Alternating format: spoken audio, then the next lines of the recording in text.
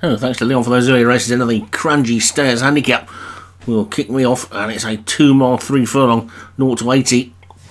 With a very small field of four, two of which belong to Alex Cherry. At the top, we've got Miami for Craig Beckwith, Golden Gate for Obi Wan, Captain Paddy, and One Eyed for Alex Cherry.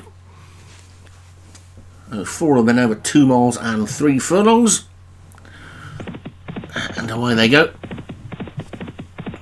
Miami on the inside of the two Alex Cherry Greys and then Golden Gate closest to us. And Leon knew when to depart the commentator seat, didn't he, just before a four runner, two mile, three furlong handicap. Anyway, Only Eyed is the leader early on, leading by three to stablemate Captain Paddy in second and Golden Gate for Obi Wan in third, who's surprisingly not the leader. Miami just at the back, top weight for Craig Beckwith. It's only Eyed in front. This is almost a flat handicapper's race, isn't it? Because Alex Cherry is doing the. No, he's not. He's doing the jump handicapping, isn't he? Oh, no, I'm talking about. See, that's the trouble with these two mile, three furlong races with only four runners in. You know, I'll just start waffling rubbish and get everything confused and then confuses everybody else as well.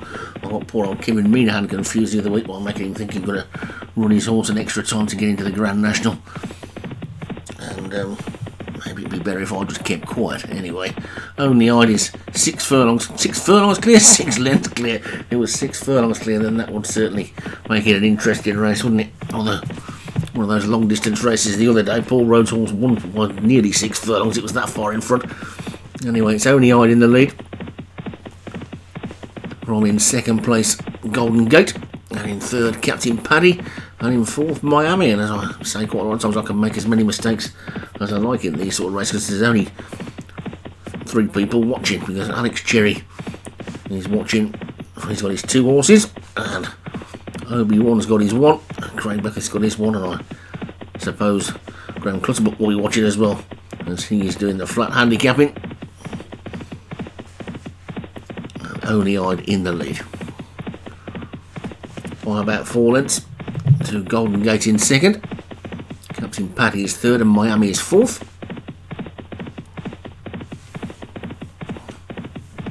They're racing in True Indian Father.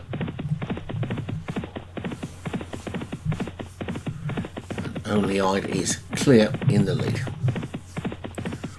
Opportunity for some of these to pick up a race at Royal Ascot next week as well. There's a long distance handicap at Ascot next week, which is only something like a 0 to 80 or something, or a 0 to 90. So probably won't be too many eligible runners for that. Maybe a winner of this might end up penalising themselves by not being able to get in that race. So, those things to think about. A big flat meeting next week.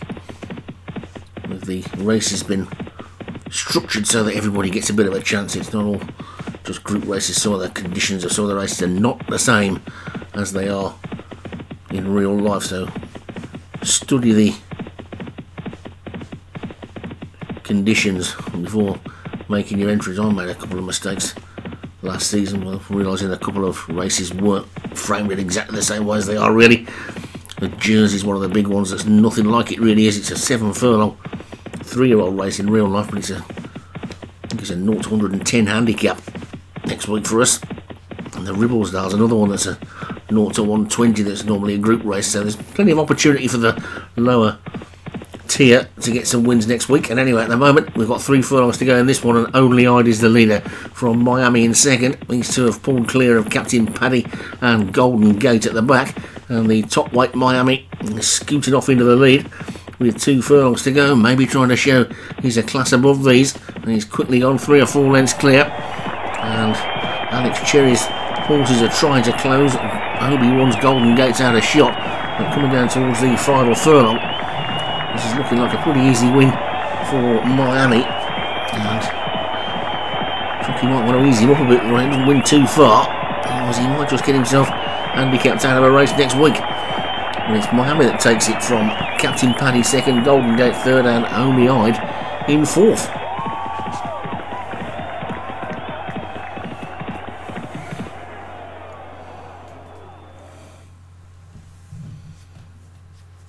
Pretty comfortable win there then from Miami, the top weight, odds on favourite. It by six lengths. And there it is, Miami for Craig Beckwith, the winner. Captain Paddy for Alex Cherry was second. Golden Gate for Obi-Wan was third. And Alex Cherry's Only Eyed was fourth.